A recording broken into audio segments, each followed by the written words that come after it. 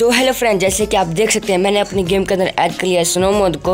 अपनी छत के ऊपर भी स्नो गिरा हुआ है और अपना स्विमिंग पूल भी जम चुका है, जैसे कि आप देख सकते हैं।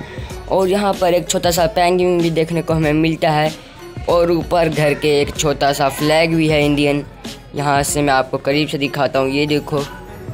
और यहाँ पर दो आइसक्रीम है बड़ी बड़ी और यहाँ पर दो थ्री और पीछे आपको एक बड़ा सा डोरीमोन का कैरेक्टर देखने को मिल जाता है, जैसे कि आप देख सकते हैं, यहाँ पर डोरीमोन खड़ा और नीचे एक दोस्त भी खड़ा है, चश्मे लगाकर, और दो अंडे भी है। ये अंडे तो डायनासोर के लग रहे हैं मुझे, और ये पता नहीं क्या है, यहाँ पर तो भाई बॉक्सिंग होगी फाइट होगी बहुत, और यहाँ सामने झूला भी लगा हुआ है, जैसे कि आप देख सकते हैं, यहाँ पर झूला लगा हुआ है। और ये पार्क है मेरे ख्याल से डोरीमोन पार्क। तो फ्रेंड्स आज के लिए इतने ही। तो फ्रेंड्स आप इसे अपने गेम के अंदर कैसे कर सकते हैं? आज मैं आपको इस वीडियो में बताने हूँ।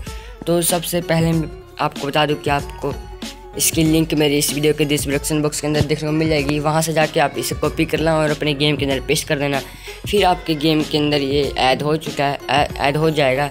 और जब आप अपने घर के बाहर आएँगे तो यही सारी चीज़ें हमें मिल जाएगी।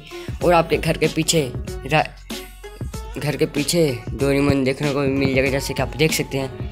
तो आज के इतने मिलते हैं धमाकेदार वीडियो के साथ में।